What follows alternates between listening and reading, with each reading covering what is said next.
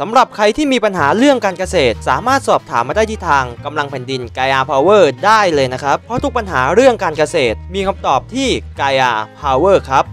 มีสิ่งหนึ่งฮะที่ผมอยากจะแชร์ให้ฟังนะครับวันนี้ที่ผมค้นพบนะฮะกับตัวผมเองนะฮะเพราะว่ากับคนอื่นอาจจะเหมือนเหมือนกันในภาคเกษตร ผมค้นพบว่าภาคเกษตรมีสิ่งหนึ่งที่หายไป แล้วกำลังจะสูญเสียไปด้วย เป็นสิ่งที่สำคัญมากๆ สิ่งนั้นคือ ความฝัน ทุกครั้งที่ผมไปอบรมในเรื่องของการพัฒนาธุรกิจ ธุรกิจหรืออะไรต่างๆ แม้แต่ผมไปอ่านหนังสือ The Secret หรือ Top Secret หลายๆ ครั้งคนที่ประสบผลสำเร็จรายใหญ่ ความฝันมาเป็นที่หนึ่งวันนี้นะฮะเกษตรกรไม่กล้าแม้แต่ที่จะฝันพอไม่กล้าฝันหนักๆเข้าสุดท้ายความฝันมันหายไป มันหายไปจากอะไรฮะ หนึ่งภาวะหนี้สิน คนที่มีหนี้ล้นพ้นตัวจะฝันยังไง คนที่ตื่นเช้ามาไม่รู้ลูกตัวเองจะกินอะไร จะฝันยังไง คนที่ที่ดินตัวเองถูกยึดไปจะฝันยังไง จะต่อยังไงเถอะ เราถามว่าเมื่อความฝันเขาไม่มี หรือความฝันเขาหายไป เขาจะจันลงชีวิตยังไง วันนี้นะฮะพี่น้องผมหลายคน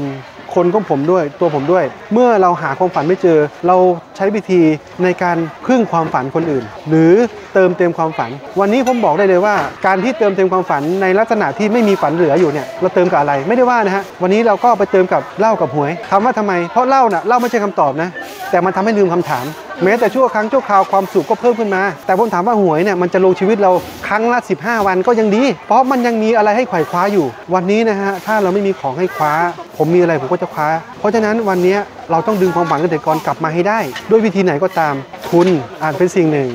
หนี้สินต้องจัดการให้เขาให้ได้ครับ ต้องหาทางให้เขาให้เจอ ต้องมีที่ให้เขาให้ยึดนะฮะวันนี้ผมก็หวังพึ่ง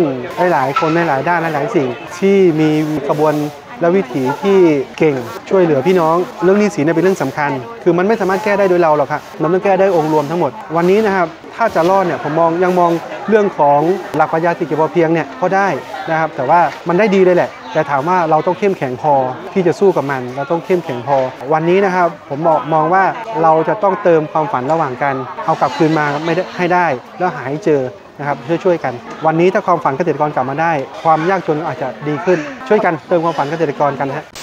ยังไงนะครับฝากทุกคนกดติดตามช่องกำลังแผ่นดินไกอาร์พาวเวอร์ด้วยนะครับ โดยสามารถพิมพ์ค้นหาได้ที่ Google เลยนะครับ พิมพ์คำว่ากำลังแผ่นดินไกอาร์พาวเวอร์ตามนี้เลยครับ เพราะทุกปัญหาเรื่องการเกษตร มีคำตอบที่ไกอาร์พาวเวอร์ครับ